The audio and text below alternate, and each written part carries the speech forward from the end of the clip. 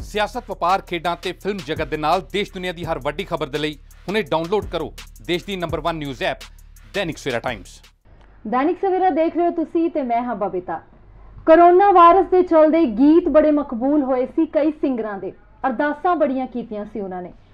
ਸੋ ਇਹੋ ਜੀ ਅੱਜ ਸਾਡੇ ਨਾਲ ਸਿੰਗਰ ਮੌਜੂਦ ਨੇ, ਇਹੋ ਜੀ ਅੱਜ ਸਾਡੇ ਨਾਲ ਸ਼ਖਸੀਅਤ ਮੌਜੂਦ ਹੈ, ਜਿਨ੍ਹਾਂ ਦੇ ਨਾਲ ਕਰੋ- ਜਿਨ੍ਹਾਂ ਨੇ ਕਰੋਨਾ ਵਾਇਰਸ ਦੇ ਚਲਦੇ, ਜਿਨ੍ਹਾਂ ਦਾ ਗੀਤ ਬੜਾ ਮਕਬੂਲ ਹੋਇਆ। ਜੀ ਹਾਂ ਮੈਂ ਗੱਲ ਕਰ ਰਹੀ ਹਾਂ ਆਸ਼ੂ ਮਹਿਤਾਬ ਜੀ ਦੀ। ਉਹਨਾਂ ਦੇ ਨਾਲ ਅਸੀਂ ਗੱਲਾਂ ਬਾਤਾਂ ਕਰਾਂਗੇ ਨਾਲ ਹੀ ਨਾਲ ਉਹਨਾਂ ਦਾ ਸਵਾਗਤ ਕਰ ਲੈਂਦੇ ਹਾਂ। ਆਸ਼ੂ ਜੀ ਬਹੁਤ ਬਹੁਤ ਸਵਾਗਤ ਹੈ ਦੈਨਿਕ ਸਵੇਰਾ ਤੁਹਾਡਾ। ਜੀ ਤੁਹਾਡਾ ਵੀ ਜੀ ਬਹੁਤ ਬਹੁਤ ਧੰਨਵਾਦ। ਔਰ ਸਾਰੇ ਜਿੰਨੇ ਵੀ ਦੈਨਿਕ ਸੇਵਾ ਦੇਖ ਰਹੇ ਆ ਉਹਨਾਂ ਦਾ ਵੀ ਬਹੁਤ ਬਹੁਤ ਧੰਨਵਾਦ ਜੀ। ਜੀ ਜਿਵੇਂ ਮੈਂ ਕਿਹਾ ਕਿ ਕਰੋਨਾ ਵਾਇਰਸ ਦੇ ਚਲਦੇ ਜਦੋਂ ਲਾਕਡਾਊਨ ਸੀਗਾ ਬੜੇ ਲੋਕਾਂ ਨੇ ਅਰਦਾਸਾਂ ਕੀਤੀਆਂ ਬੜੇ ਗੀਤ ਵੀ ਮਕਬੂਲ ਹੋਏ ਸਿੰਗਰਾਂ ਦੇ। ਤੁਹਾਡਾ ਵੀ ਗੀਤ ਬੜਾ ਮਕਬੂਲ ਹੋਇਆ ਅਸੀਂ ਜ਼ਰੂਰ ਉਸ ਗੀਤ ਬਾਰੇ ਸਭ ਤੋਂ ਪਹਿਲਾਂ ਜਾਣਨਾ ਚਾਹਾਂਗੇ। ਜੀ ਬਿਲਕੁਲ ਜੀ ਬਿਲਕੁਲ ਮੈਡਮ ਕਿ ਉਹੀ ਇੱਕ ਸਹਾਰਾ ਜਿਹੜਾ ਕਿ ਮੇਰਾ ਮਾਰਕੀਟ ਵਿੱਚ Song ਚੱਲ ਰਿਹਾ। ਔਰ ਸਭ ਤੋਂ ਪਹਿਲਾਂ ਮੈਂ ਦੱਸਣਾ ਚਾਹਾਂਗਾ ਕਿ ਔਰ ਸਾਰਾ 뮤직 ਵੈਨਕੂਵਰ ਕੈਨੇਡਾ ਤੋਂ ਇਹ ਰਿਲੀਜ਼ ਹੋਇਆ। ਔਰ ਜਿਸ ਦੇ ਵਿੱਚ ਮੇਰੀ ਪੂਰੀ ਟੀਮ ਦਾ ਬਹੁਤ ਵੱਡਾ ਸਹਿਯੋਗ ਹੈ। ਖਾਸ ਤੌਰ ਅ, ਰਾਜ ਭਾਜੀ ਜੈਸੀ ਧਨੋਵਾ ਸਾਹਿਬ ਔਰ ਸਨੀ ਭਾਜੀ ਔਰ ਮੇਰੇ ਸਤਿਕਾਰਯੋਗ ਮੇਰੇ ਵੱਡੇ ਭਾਜੀ ਬਨੀ ਸ਼ਰਮਾ ਜੀ। ਜਿਨ੍ਹਾਂ ਨੇ 32 ਸਾਲ 30 ਸਾਲ 32 ਸਾਲ ਤੋਂ ਪੰਜਾਬੀ ਇੰਡਸਟਰੀ ਦੀ ਸੇਵਾ ਕਰ ਰਹੇ ਆ ਔਰ ਉਹਨਾਂ ਦੀ ਬਦੌਲਤ ਹੀ ਮੈਨੂੰ ਇਸ ਸਾਰਾ ਪਰਿਵਾਰ ਦਾ ਹਿੱਸਾ ਬਣਨ ਦਾ ਮੌਕਾ ਮਿਲਿਆ। ਇਸ ਤੋਂ। ਪਹਿਲਾਂ ਤੁਹਾਡੇ ਕਾਫੀ ਗੀਤ ਆਏ ਤੁਸੀਂ ਪ੍ਰੋਪਰ ਐਜੂਕੇਸ਼ਨ ਲਈ ਆ ਸਿੰਗਿੰਗ ਲਾਈਨ ਦੀ ਅਸੀਂ ਅਕਸਰ ਦੇਖਦੇ ਹਾਂ ਕਿ ਸਿੰਗਰ ਜਿਹੜੇ ਨੇ ਜ਼ਿਆਦਾਤਰ ਅੱਜ ਦੇ ਅਗਰ ਮੈਂ ਟਾਈਮ ਦੀ ਗੱਲ ਕਰਾਂ ਤੇ ਬਾਹਲੇ ਸਿੰਗਰਾਂ ਨੂੰ ਇੰਨੀ ਨੌਲੇਜ ਨਹੀਂ ਹੁੰਦੀ ਸਿੰਗਰ ਤਾਂ ਬਣ ਜਾਂਦੇ ਨੇ ਲੇਕਿਨ ਐਜੂਕੇਸ਼ਨ ਉਹਨਾਂ ਦੇ ਕੋਲ ਨਹੀਂ ਹੁੰਦੀ ਕਹਿ ਲਓ ਕਿ ਬਾਹਲਾ ਗਿਆਨ ਨਹੀਂ ਕਹਿ ਸਕਦੇ ਤੁਸੀਂ ਹੁੰਦਾ, ਤੇ। ਤੁਸੀਂ ਤਾਂ ਆਪਣਾ ਜਿਹੜਾ ਆ ਐਜੂਕੇਸ਼ਨ ਬੜੀ ਵਧੀਆ ਤੁਸੀਂ ਦੱਸਿਆ ਕਿ ਮੈਂ ਕਾਲਜ ਤੋਂ ਕੀਤੀ ਆ ਕਿੰਨਾ ਕੁ ਸਮਾਂ ਲੱਗ ਗਿਆ ਤੁਹਾਨੂੰ ਇਸ ਲਾਈਨ ਦੇ ਵਿੱਚ ਕਿੰਨੀ ਕੁ ਮਿਹਨਤ ਕਰਨੀ ਪਈ ਜੀ ਮਿਹਨਤ ਤਾਂ ਦੇਖੋ ਇਹ ਸੰਗੀਤ ਇੱਕ ਸਮੁੰਦਰ ਆ। ਹੂੰ। ਔਰ ਸਿੱਖਣਾ ਜ਼ਰੂਰ ਚਾਹੀਦਾ। ਹੂੰ। ਔਰ ਮਿਹਨਤ ਤੇ ਕਾਫੀ ਲੱਗਦੀ ਹੈ ਕਿ ਰਿਆਜ਼ ਮਾਰਨਿੰਗ ਰਿਆਜ਼ ਹੈ ਤੁਸੀਂ ਜਿੰਨਾ ਵੀ ਕਰੋਗੇ ਉਹ ਘੱਟ ਆ। ਹੂੰ। ਕਾਲਜ ਵਿੱਚ ਬੀਐਸ ਨਾਰੰਗ ਸਾਹਿਬ ਦੇ ਸੰਪਰਕ ਦੇ ਵਿੱਚ ਮੈਂ ਰਿਹਾ ਔਰ ਉਹਨਾਂ ਕੋ ਮੈਂ ਸਿੱਖਿਆ ਪਰਿਵਾਰ ਚੋਂ ਆਪਣੇ ਮੇਰੇ ਪਰਿਵਾਰ ਚ ਸੰਗੀਤ ਹੈ। ਮੈਂ ਆਪਣੇ ਪਰਿਵਾਰ ਚੋਂ ਸਿੱਖਿਆ ਹੂੰ। ਔਰ ਨਾਲ ਦੀ ਨਾਲ ਵੱਡਿਆਂ ਦੀ ਬਲੇਸਿੰਗ ਹੋਣਾ ਬਹੁਤ ਜ਼ਰੂਰੀ ਚਾਹੀਦੀ ਹੂੰ। ਕਿ ਮਿਹਨਤ ਤੇ ਲੱਗਦੀ ਹੈ ਵੱਡਿਆਂ ਦੀ ਬਲੇਸਿੰਗ ਨਾਲ ਚੱਲਦੀ ਰਹਿਣੀ ਚਾਹੀਦੀ ਹੈ। ਯਾਰਾਂ ਦੋਸਤਾਂ ਦਾ ਸਹਿਯੋਗ ਜਿਹੜਾ ਹੈ। ਇਸ ਮੇਰੇ ਉਹੀ ਇੱਕ ਸਹਾਰਾ ਦੇ ਵਿੱਚ 뮤직 ਹੈ ਸੋਨੂ ਜੀ ਦਾ ਔਰ ਸਨੀ ਜੀ ਦਾ। ਔਰ ਸਪੈਸ਼ਲ ਇਸ ਲੋਕਡਾਊਨ ਦੇ ਚੱਲਦੇ ਹੋਏ ਬੜੀਆਂ ਮੁਸ਼ਕਲਾਂ ਆਈਆਂ ਇਸ ਗਾਣੇ ਪਿੱਛੇ। ਔਰ ਸੌਰਵ ਸੁਰਇਆ ਜੀ ਯੂਕੇ ਤੋਂ ਮੇਰੇ ਬੜੇ ਅੱਛੇ ਮਿੱਤਰ ਨੇ। ਔਰ ਉਦੋਂ ਇੱਥੇ ਸੀਗੇ ਉਹ। ਉਹਨਾਂ ਦਾ ਬੜਾ ਸਹਿਯੋਗ ਰਿਹਾ ਇਸ ਗਾਣੇ ਵਿੱਚ। ਔਰ ਮੇਰੀ ਪੂਰੀ ਟੀਮ ਦਾ ਬੜਾ ਸਹਿਯੋਗ ਰਿਹਾ। ਸੋਨੂ। ਜੀ ਜਿਨ੍ਹਾਂ ਦਾ 뮤직 ਉਹਨਾਂ ਦਾ ਬੜਾ ਸਹਿਯੋਗ ਰਿਹਾ। ਔਰ ਇਹੀ ਹੁੰਦੀਆਂ ਮਿਹਨਤਾਂ। ਜੀ ਬਿਲਕੁਲ। ਮੇਨ ਤਾਂ ਇਹੀ ਹੁੰਦੀ ਹੈ ਲਾਕਡਾਊਨ ਦੇ ਦੌਰਾਨ ਵੀ। ਗੀਤ ਕੱਢਣੇ ਖਾਸ ਕਰ ਤੁਹਾਡੇ ਵਰਗੇ ਜਿਹੜੇ। ਆਮ ਲੋਕ ਨੇ ਜਿਹੜੇ ਅਰਦਾਸਾਂ ਕਰਦੇ ਨੇ ਔਰ ਤੁਸੀਂ ਉਹਨਾਂ ਦੀਆਂ ਅਰਦਾਸਾਂ ਦੇ ਵਿੱਚ ਹਿੱਸੇਦਾਰੀ ਪਾਉਂਦੇ ਹੋ। ਔਰ ਇਹ ਬਹੁਤ ਵਧੀਆ ਗੱਲ ਹੈ। ਅੱਛਾ ਇੱਕ ਸਵਾਲ ਇੱਥੇ ਹੋ ਰਿਹਾ ਹੈ ਕਿ ਆਸ਼ੂ ਮਹਿਤਾਬ ਸੀ ਤੋਂ ਹੁਣ ਉਹ ਤੁਸੀਂ ਆਸ਼ੂ ਮਹਿਤਾਬ ਲੇਕਿਨ ਪਹਿਲਾਂ ਤੁਹਾਡਾ ਨਾਮ ਸੀਗਾ ਆਸ਼ੂ ਕੋਟੀ ਦੇ ਨਾਂ ਨਾਲ ਤੁਸੀਂ ਜਾਣੇ ਜਾਂਦੇ ਸੀ। ਇੱਕਦਮ ਤੁਸੀਂ ਨਾਮ ਕਿਵੇਂ ਚੇਂਜ ਕਰ ਲਿਆ? ਜੀ ਬਿਲਕੁਲ ਸਹੀ ਹੈ। ਆਸ਼ੂ ਕੋਟੀ ਦਾ ਜਿਹੜਾ ਮੇਰਾ ਸਫ਼ਰ ਸੀ ਉਹ ਬੜਾ ਅੱਛਾ ਸਫ਼ਰ ਸੀਗਾ। ਔਰ ਜਦੋਂ ਮੈਂ ਬੰਨੀ ਭਾਜੀ ਉਹਨਾਂ ਦੇ ਸੰਪਰਕ ਵਿੱਚ ਆਇਆ ਜੈਸੀ ਧਨੋਆ ਭਾਜੀ ਉਹਨਾਂ ਦੇ ਸੰਪਰਕ 'ਚ ਆਇਆ ਤਾਂ ਉਹਨਾਂ ਨੇ ਫਿਰ ਡਿਸਾਈਡ ਕੀਤਾ ਕਿ ਹੁਣ ਥੋੜਾ ਜਿਹਾ ਆਪਾਂ ਇਸ ਨਾਮ ਨੂੰ ਥੋੜਾ ਜਿਹਾ ਪਰਿਵਰਤਨ ਕਰੀਏ ਕਿ ਇੰਡਸਟਰੀ ਵਿੱਚ ਵੀ ਫਿਲਮ ਇੰਡਸਟਰੀ ਵਿੱਚ ਵੀ ਬੜੇ ਇਦਾਂ ਦੇ ਐਕਟਰ ਨੇ ਕਿ। ਜਿਨ੍ਹਾਂ ਦਾ ਨਾਮ ਨਾਮ ਚੇਂਜ ਕਰ ਲੈਂਦੇ ਨੇ ਕਰਕੇ। ਹਾਂ। ਤੇ ਉਹ ਐਕਸਪੈਰੀਮੈਂਟ ਵੀ ਕਰ ਰਹੇ ਆ ਮੇਰੇ ਤੇ। ਅੱਛਾ। ਜੀ। ਫਿਰ ਉਹ ਇਹ ਆਸ਼ੂ ਮਹਿਤਾਬ ਦਾ ਜਿਹੜਾ ਸਫ਼ਰ ਹੁਣ ਸ਼ੁਰੂ ਹੋਇਆ ਇਹਨਾਂ ਦੀ ਬਦੌਲਤ ਹੋਇਆ। ਔਰ ਕਾਫੀ ਅੱਛਾ ਹੈ। ਨਹੀਂ ਤੇ ਪਹਿਲੇ ਨਾਮ 'ਚ ਕੀ ਦਿੱਕਤ ਸੀਗੀ? ਉਹ ਵੀ ਨਾਮ ਬੜਾ ਅੱਛਾ ਸੀ। ਆਸ਼ੂ ਉਦੋਂ ਵੀ ਲੱਗਦਾ ਸੀ ਆਸ਼ੂ ਹੁਣ ਵੀ ਲੱਗਦਾ। ਸਿਰਫ ਕੋਟੀ ਔਰ ਮਹਿਤਾਬ ਦਾ ਫ਼ਰਕ ਹੋ ਗਿਆ। ਜੀ ਉਹ ਇਹ ਉਹਨਾਂ ਦੀ ਸੋਚ ਹੈ। ਅੱਛਾ। ਹਾਂ। ਜੀ। ਉਹਨਾਂ ਨੂੰ ਕਿਉਂਕਿ ਮੈਂ ਉਹਨਾਂ ਨੂੰ ਸਮਰਪਿਤ ਕਰ ਚੁੱਕਾ ਆਪਣੇ ਆਪ ਨੂੰ। ਹੂੰ। ਫਿਰ ਜਦੋਂ ਅਸੀਂ ਕਿਸੇ ਨੂੰ ਸਮਰਪਿਤ ਕਰ ਦਿੰਦੇ ਆ ਫਿਰ ਉੱਥੇ ਕਿੰਤੂ ਪਰੰਤੂ ਦੀ ਕੋਈ ਗੁੰਜਾਇਸ਼ ਨਹੀਂ ਹੁੰਦੀ। ਹੂੰ। ਕਹਿ ਸਕਦੇ ਹੋ ਕਿ ਤੁਸੀਂ ਗੁਰੂ ਜਿਹਨੂੰ ਆਪਣਾ ਮੰਨਦੇ ਹੋ? ਜੀ ਮੇਰੇ ਗੋਡਫਾਦਰ ਨੇ ਬਨੀ ਸ਼ਰਮਾ ਜੀ।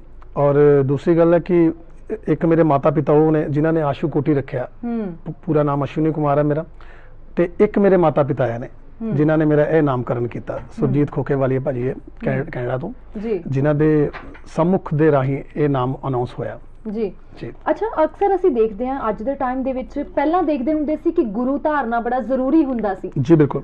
ਕੋਈ ਵੀ ਲਾਈਨ ਹੋਵੇ ਖਾਸ ਕਰ ਸਿੰਗਿੰਗ ਲਾਈਨ ਦੇ ਵਿੱਚ ਲੋਕ ਇਹ ਸੋਚਦੇ ਸੀ ਕਿ ਗੁਰੂ ਬਿਨਾ ਗਿਆਨ ਨਹੀਂ ਅਸੀਂ ਕਹਿੰਦੇ ਆ ਲੇਕਿਨ। ਅੱਜ ਦੇ ਟਾਈਮ 'ਚ ਅਸੀਂ ਦੇਖਦੇ ਹਾਂ ਕਿ ਸਾਡਾ ਗੁਰੂ ਹੈ ਜਿਹੜਾ ਉਹ ਸੋਸ਼ਲ ਮੀਡੀਆ ਬਣ ਗਿਆ।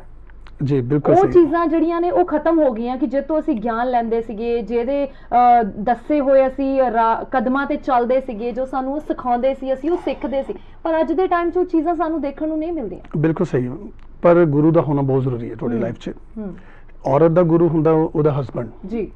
ਔਰ ਕੋਈ ਵੀ ਫੀਲਡ ਹੈ ਉਹਦੇ ਵਿੱਚ ਜਦ ਤੱਕ ਅਸੀਂ ਪ੍ਰੋਪਰ ਉਹਦੀ ਟ੍ਰੇਨਿੰਗ ਨਹੀਂ ਲਵਾਂਗੇ ਤੇ ਗੱਲ ਬਣਦੀ ਨਹੀਂ।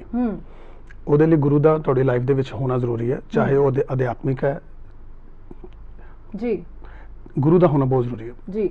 ਕਹਿਣ ਦਾ ਮਤਲਬ ਹੈ ਕਿ ਅੱਜ ਦੇ ਟਾਈਮ ਦੇ ਵਿੱਚ ਵੀ ਅਗਰ ਅ, ਆਉਣ ਵਾਲੀ ਪੀੜ੍ਹੀ ਅਗਰ ਆਉਣ ਵਾਲੇ ਸਿੰਗਰ ਜਿਹੜੇ ਹੁਣ ਉੱਠ ਰਹੇ ਨੇ ਉਹ ਇਹ ਸੋਚਣ ਕਿ ਗੁਰੂ ਦਾ ਹੋਣਾ ਵਾਕਈ ਜ਼ਰੂਰੀ ਹੈ ਜੀ, ਤੇ ਉਹਨਾਂ ਨੂੰ ਬਿਲਕੁਲ। ਹੋਰ ਵੀ ਜ਼ਿਆਦਾ ਗਿਆਨ ਮਿਲ ਸਕਦਾ ਹੋਰ ਵੀ ਜ਼ਿਆਦਾ ਉਹਨਾਂ ਨੂੰ ਇਸ ਚੀਜ਼ ਦੀ ਨੌਲੇਜ ਆ ਸਕਦੀ ਜੀ, ਹੈ ਬਿਲਕੁਲ ਅੱਛਾ ਆਸ਼ੂ ਜੀ ਕਿੰਨਾ ਟਾਈਮ ਹੋ ਗਿਆ ਤੁਹਾਨੂੰ ਇਸ ਲਾਈਨ ਦੇ ਵਿੱਚ? ਜੀ ਮੈਡਮ ਮੈਨੂੰ ਨੀਅਰ ਅਬਾਊਟ 24 25 ਸਾਲ ਤਾਂ ਹੋ ਹੀ ਗਏ ਨਾ। ਜੀ। 24 25 ਸਾਲ ਹੋ ਚੁੱਕੇ। ਔਰ 24 25 ਸਾਲਾਂ ਦੇ ਦੌਰਾਨ ਕਿੱਦਾਂ ਦਾ ਐਕਸਪੀਰੀਅੰਸ ਰਿਹਾ ਤੁਹਾਨੂੰ ਸਿੰਗਿੰਗ ਲਾਈਨ ਨੂੰ ਲੈ ਕੇ? ਬੜਾ ਲੰਬਾ ਸਫ਼ਰ ਤੁਸੀਂ ਤੈਅ ਕਰਕੇ ਹੁਣ ਤੱਕ ਆਏ ਹੋ। ਸਫਰ ਇਸ ਤਰ੍ਹਾਂ ਕਿ ਮੈਡਮ ਫਾਈਨੈਂਸ਼ਲੀ ਮੇਰੀ ਜਿਹੜੀ ਪਰਿਵਾਰ ਹੈ ਬਹੁਤ ਸਟਰੋਂਗ ਹੈ। ਬਟ ਪੰਜੇ ਉਂਗਲਾਂ ਬਰਾਬਰ ਨਹੀਂ ਹੁੰਦੀਆਂ। ਮੇਰੇ ਫਾਦਰ ਸਾਹਿਬ ਫਾਈਨੈਂਸ਼ਲੀ ਸਟਰੋਂਗ ਨਹੀਂ ਸੀਗੇ। ਔਰ ਹਾਲਾਤ ਇਦਾਂ ਦੇ ਸੀ ਘਰ ਦੇ ਵਿੱਚ ਕਿ ਬਸ ਹੁਣ ਮੈਂ ਨਾ ਹੀ ਗੱਲ ਕਰਾਂ ਤੇ। ਅੱਛੀ ਗੱਲ ਹੈ। ਹੂੰ।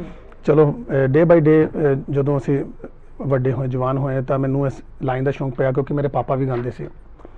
ਤੇ ਹੁਣ ਉਹ ਗਾਉਂਦੇ ਨਹੀਂ ਹੂੰ। ਫਾਈਨੈਂਸ਼ਲੀ ਇਸ ਲਾਈਨ ਦੇ ਵਿੱਚ ਫਾਈਨੈਂਸ ਦਾ ਹੋਣਾ ਬਹੁਤ ਜ਼ਰੂਰੀ ਹੈ। ਤੇ ਚਲੋ ਮੈਂ ਆਪਣੀ ਜਿਹੜਾ ਆਪਣਾ ਰਸਤਾ ਮੈਂ ਆਪ ਬਣਾਇਆ।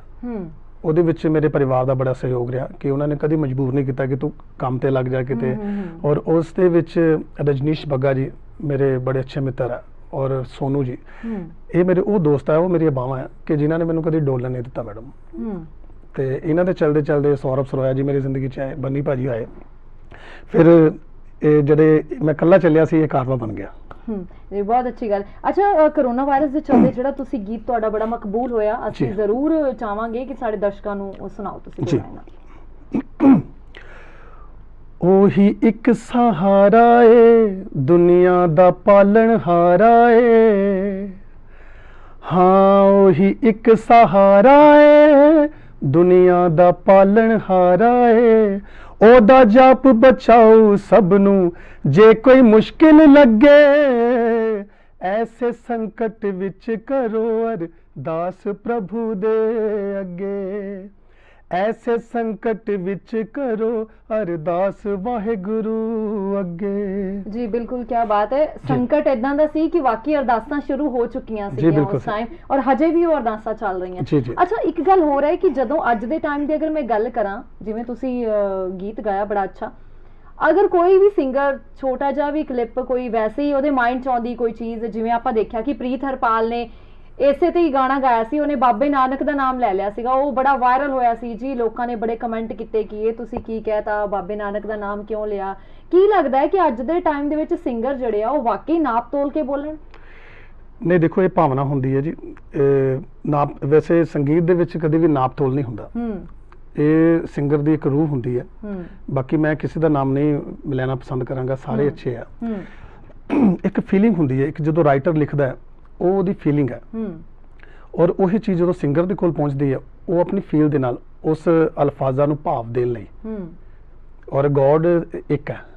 ਔਰ ਮੇਰੇ ਗਾਣੇ ਵਿੱਚ ਵੀ ਇਸ ਤਰ੍ਹਾਂ ਹੀ ਹੈ ਕਿ ਮੈਂ ਲਾਸਟ ਵਿੱਚ ਐਸੇ ਸੰਕਟ ਵਿੱਚ ਕਰੋ ਅਰਦਾਸ ਵਾਹਿਗੁਰੂ ਅੱਗੇ ਅਰਦਾਸ ਯਸ਼ੂ ਦੇ ਅੱਗੇ ਅਰਦਾਸ ਸਾਈਂ ਦੇ ਅੱਗੇ ਕਿ ਉਹਦੇ ਵਿੱਚ ਅਸੀਂ ਇਹ ਸ਼ੋਅ ਕੀਤਾ ਕਿ ਸਭ ਪਰਮਾਤਮਾ ਇੱਕ ਹੈ। ਹੂੰ।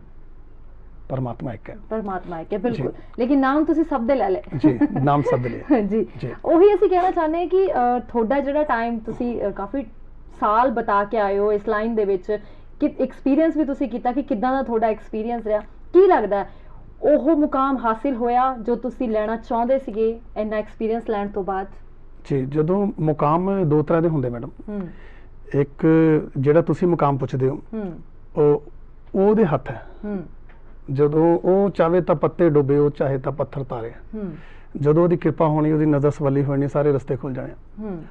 ਤੇ ਮੈਂ ਸਮਝਦਾ ਕਿ ਜਦੋਂ ਜੈਸੀ ਧਨੋਵਾ ਭਾਜੀ ਹੋਣੀ ਵਰਗੇ ਔਰ ਰਾਜ ਭਾਜੀ ਸੰਨੀ ਭਾਜੀ ਔਰ ਬਨੀ ਸ਼ਰਮਾ ਵਰਗੇ ਤੁਹਾਡੀ ਲਾਈਫ ਦੇ ਵਿੱਚ ਆ ਜਾਂਦੇ ਆ ਤਾਂ ਸਮਝ ਲਓ ਕਿ ਤੁਹਾਨੂੰ ਇੱਕ ਮੰਜ਼ਿਲ ਦੀ ਜਿਹੜੀ ਸੀੜੀ ਉਹ ਮਿਲ ਗਈ ਆ। ਹੂੰ। ਤੇ ਫਿਰ ਮੰਜ਼ਿਲ ਦੂਰ ਨਹੀਂ ਆ। ਹੂੰ ਬਿਲਕੁਲ। ਮੰਜ਼ਿਲ ਦੂਰ ਨਹੀਂ ਹੈ ਔਰ ਹੋਣੀ ਵੀ ਨਹੀਂ ਚਾਹੀਦੀ ਕਿਉਂਕਿ ਅਸੀਂ। ਮਿਹਨਤ ਕਰਦੇ ਰਾਂਗੇ ਤਾਂ ਜ਼ਰੂਰ ਸਾਨੂੰ ਮੰਜ਼ਿਲ ਜਿਹੜੀ ਆ ਉਹ ਮਿਲੇਗੀ। ਸੋਸ਼ਲ ਮੀਡੀਆ ਨੂੰ ਕਿੰਨਾ ਕੁ ਤੁਸੀਂ ਸਮਝਦੇ ਹੋ ਕਿ ਅੱਜ ਦੇ ਟਾਈਮ ਦੇ ਵਿੱਚ ਸੋਸ਼ਲ ਮੀਡੀਆ ਜਿਹੜਾ ਆ ਉਹ ਬਹੁਤ ਜ਼ਿਆਦਾ ਐਕਟਿਵ ਹੈ। ਜ਼ਿਆਦਾ ਸਾਨੂੰ ਮਿਹਨਤ ਕਰਨ ਦੀ ਲੋੜ ਨਹੀਂ ਪੈਂਦੀ ਕਿਉਂਕਿ ਸੋਸ਼ਲ ਮੀਡੀਆ ਪਹਿਲਾਂ ਟਾਈਮ ਹੁੰਦਾ ਸੀਗਾ ਕਿ ਸਾਨੂੰ ਐਡਸ ਬਹੁਤ ਦੇਣੀ ਪੈਂਦੀ ਸੀ ਆਪਣੀ। ਪ੍ਰਮੋਸ਼ਨ ਦੇ ਲਈ ਬਹੁਤ ਧੱਕੇ ਖਾਣੇ ਪੈਂਦੇ ਸੀ। ਆਪਣੇ ਆਪ ਨੂੰ ਪ੍ਰੂਫ ਕਰਨ ਲਈ ਕਿ ਸਾਡੇ 'ਚ ਟੈਲੈਂਟ ਹੈ। ਟੈਲੈਂਟ ਹੈ ਬਿਲਕੁਲ ਅੱਜ ਦੇ ਟਾਈਮ ਦੇ ਵਿੱਚ ਐਸਾ ਕੁਝ ਨਹੀਂ ਹੈ ਕਿ ਤੁਹਾਡੇ 'ਚ ਟੈਲੈਂਟ ਹੈ ਤੁਸੀਂ ਸੋਸ਼ਲ ਮੀਡੀਆ ਦੇ ਪਾਓ ਤੇ ਤੁਹਾਡਾ ਟੈਲੈਂਟ ਹੈ ਜਿਹੜਾ ਲੋਕ ਦੇਖਦੇ ਨੇ ਪਸੰਦ ਕਰਦੇ ਨੇ। ਕੀ ਸਮਝਦੇ ਹੋ ਤੁਸੀਂ ਕਿ ਸੋਸ਼ਲ ਮੀਡੀਆ ਇਸ ਚੀਜ਼ ਲਈ ਕਿੰਨਾ ਕੁ ਸਹੀ ਕਾਰਗਰ ਹੈ? ਨਹੀਂ ਬਿਲਕੁਲ ਠੀਕ ਹੈ। ਸੋਸ਼ਲ ਮੀਡੀਆ ਬਹੁਤ ਜ਼ਰੂਰੀ ਹੈ। ਉਹ ਚਾਹੇ ਤੁਸੀਂ ਆਪਣੇ ਆਪ ਨੂੰ ਪ੍ਰਮੋਟ ਸੋਸ਼ਲ ਮੀਡੀਆ ਰਾਹੀਂ ਕਰ ਰਹੇ ਹੋ ਚਾਹੇ ਕਿਸੇ ਚੈਨਲ ਰਾਹੀਂ ਕਰ ਰਹੇ ਹੋ। ਹੂੰ। ਤਾਂ ਮੀਡੀਆ ਹੀ ਹੈ। ਉਹ ਬਹੁਤ ਜ਼ਰੂਰੀ ਹੈ। ਤੁਸੀਂ ਸੋਸ਼ਲ ਮੀਡੀਆ ਤੇ ਕਿੰਨੇ ਐਕਟਿਵ ਹੋ? ਜੀ ਮੈਂ ਬਹੁਤ ਘੱਟ ਹੂੰ ਕਿ ਭਾਜੀ ਹੋਣੀ ਮੈਨੂੰ ਅਕਸਰ ਕਹਿੰਦੇ ਕਿ ਤੂੰ ਲਾਈਵ ਹੋਇਆ ਕਰ। ਔਰ ਮੈਂ ਬਹੁਤ ਜ਼ਰੂਰੀ ਕੋਈ ਮੁੱਦਾ ਹੋਵੇ ਫਿਰ ਮੈਂ ਲਾਈਵ ਹੋਣਾ ਕੋਈ ਜ਼ਰੂਰੀ ਗੱਲ ਹੈ ਕੋਈ ਜਿੱਦਾਂ ਹੁਣ ਕਲਾਕਾਰ ਵਿਚਾਰੇ ਭੁੱਖੇ ਮਰ ਰਹੇ ਆ। ਕਿ ਕਲਾਕਾਰਾਂ ਦੇ ਜਿਹੜੇ ਡੇਲੀ ਕਮਾਉਣ ਵਾਲੇ ਸੀਗੇ ਡੇਲੀ ਖਾਣ ਵਾਲੇ ਸੀ ਉਹਨਾਂ ਦੇ ਕਾਰੋਬਾਰ ਬੰਦ ਹੋਏ। ਔਰ ਪੂਰਾ ਹਿੰਦੁਸਤਾਨ ਨਹੀਂ ਬਲਕਿ ਪੂਰਾ ਵਿਸ਼ਵ ਜਿਹੜਾ ਹੈ ਉਹ ਪ੍ਰਭਾਵਿਤ ਹੋਇਆ ਇਸ ਚੀਜ਼ ਤੋਂ। ਕਰੋਨਾ ਤੋਂ। ਬਿਲਕੁਲ। ਤਾਂ ਸੋਸ਼ਲ ਮੀਡੀਆ ਬਹੁਤ ਜ਼ਰੂਰੀ ਹੈ। ਨਹੀਂ ਬਿਲਕੁਲ ਠੀਕ ਹੈ। ਸੋਸ਼ਲ ਮੀਡੀਆ ਜਿਹੜਾ ਬਹੁਤ ਜ਼ਰੂਰੀ ਹੈ ਉਹਨਾਂ ਲਈ ਵੀ ਕਿਉਂਕਿ ਅੱਜ ਦੇ ਟਾਈਮ ਦੇ ਵਿੱਚ ਇੰਨੀ ਸਾਨੂੰ ਮਿਹਨਤ ਨਹੀਂ ਕਰਨੀ ਪੈਂਦੀ ਜਿੰਨਾ। ਪਹਿਲਾਂ ਕਰਨੀ ਪੈਂਦੀ ਸੀ ਪਹਿਲਾਂ ਜ਼ਿਆਦਾ ਸੀ। ਨੂੰ। ਜੀ ਜੀ।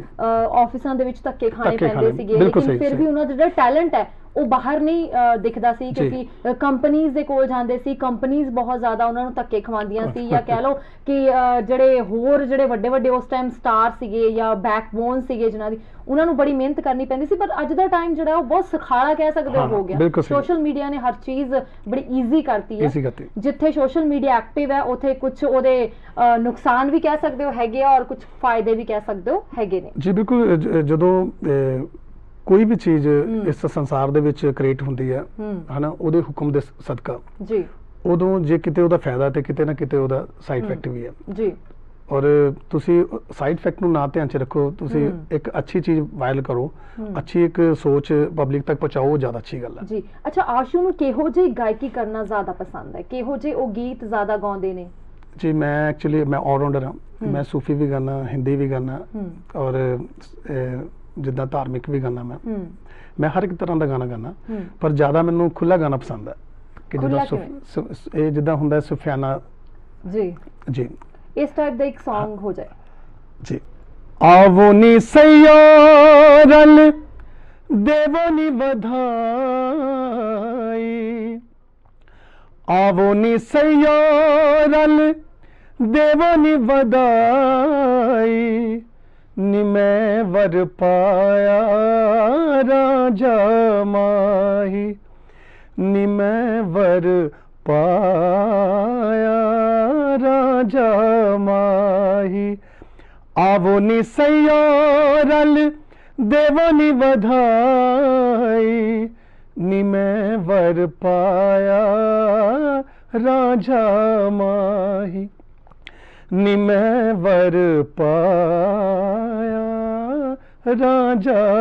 ਮਾਹੀ।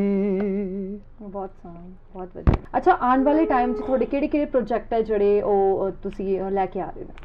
ਜੀ ਇੱਕ ਮਾਂ ਵਾਲਾ ਗਾਣਾ ਹੈ ਕਿ ਜਿਹੜਾ ਸ਼ਾਇਦ 2 ਮਹੀਨੇ ਤੱਕ ਰਿਲੀਜ਼ ਹੋ ਜਾਏਗਾ। ਔਰ ਇੱਕ ਸੁਫਿਆਨਾ। ਜੀ। ਜੀ ਉਹ ਤੇ ਵਰਕ ਚੱਲ ਰਿਹਾ। ਜੀ ਔਰ ਬਹੁਤ ਜਲਦੀ ਮਾਰਕੀਟ ਦੇ ਵਿੱਚ ਆ ਜਾਏਗਾ। ਜੀ। ਉਮੀਦ ਹੈ। ਜੀ ਅੱਛਾ ਅੱਜ ਦੀ ਗਾਇਕੀ ਬਾਰੇ ਤੁਸੀਂ ਕੀ ਕਹਿੰਦੇ ਹੋ? ਕਿ ਅੱਜ ਦੀ ਗਾਇਕੀ ਹੈ ਜਿਹੜੀ ਕਿਹੋ ਜਿਹੀ ਗਾਇਕੀ ਹੈ ਅੱਜ ਦੀ? ਤੁਹਾਡਾ ਕੀ ਇਸ 'ਚ ਕਹਿਣਾ ਹੈ? ਗਾਇਕੀ ਹਮੇਸ਼ਾ ਵਧੀਆ ਹੁੰਦੀ ਜੀ ਸਾਰੇ ਅੱਛੇ ਗਾ ਰਹੇ ਆ ਸਾਰੇ ਸਾਰੇ ਵਧੀਆ ਗਾ ਰਹੇ ਆ। ਹੂੰ। ਕਿ ਮੈਂ ਤੇ ਹਰ ਵਕਤ ਇਹੀ ਕਹਿਣਾ ਔਰ ਸਿੱਖ ਕੇ ਗਾਓ। ਸਿੱਖੋ ਜ਼ਰੂਰ। ਹੂੰ।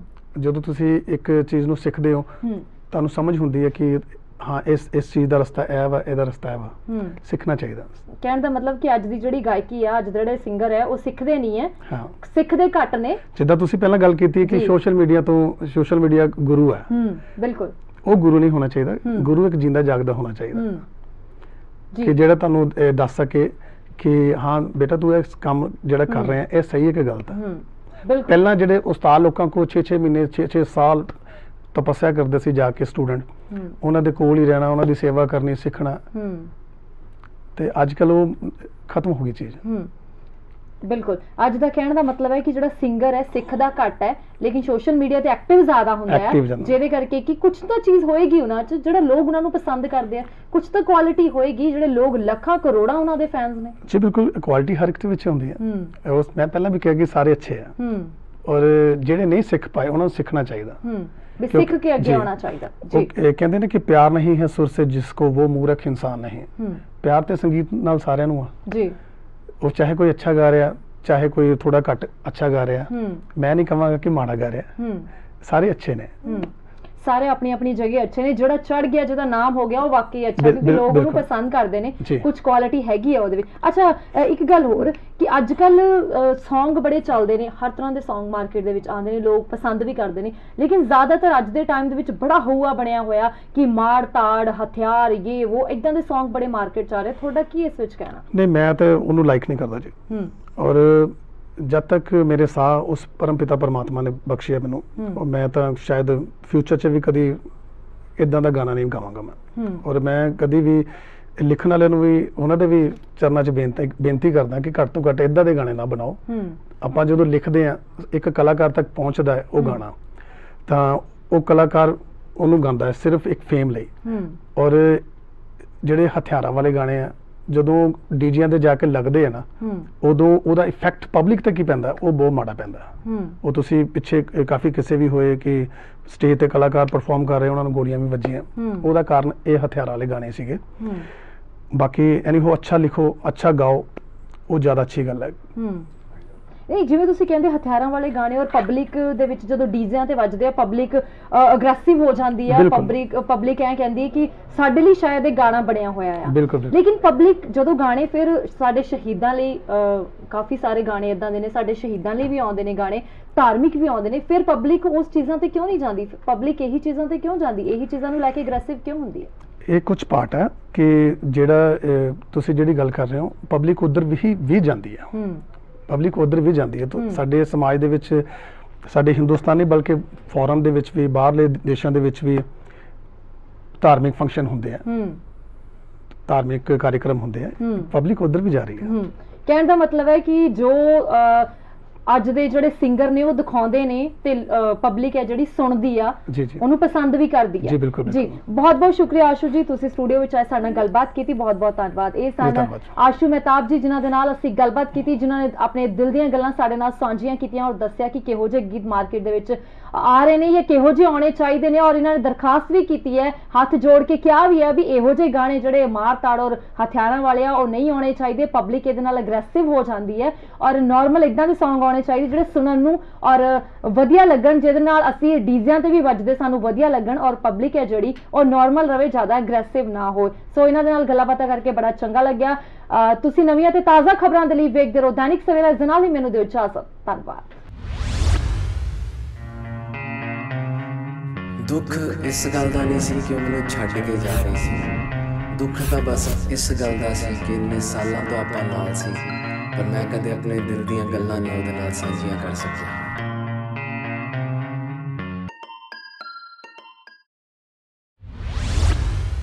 All world open challenge 17 time gold medallist Mian Rafiq Mohammad पंडित मौलवी बेगम तांत्रिक इन चोरा ठगा तो सावधान स्पेशलिस्ट वशीकरण सट्टा नंबर लव मैरिज पति पत्नी च अनबन विदेश च पक्का होना कारोबार दा ना चलना सिर्फ़ 31 ਘੰਟਿਆਂ ਵਿੱਚ ਸਮਾਧਾਨ free free free Mian Rafiq Muhammad mobile 843447494647 84374 94648